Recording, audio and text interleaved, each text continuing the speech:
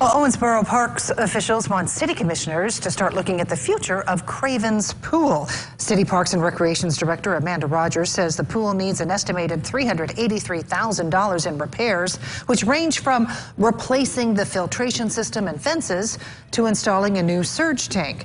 She told commissioners options range from repairing the pool to replacing it with a spray park to closing it altogether. City officials planned to close the pool several years ago, but kept it open after residents campaigned the city to keep it open.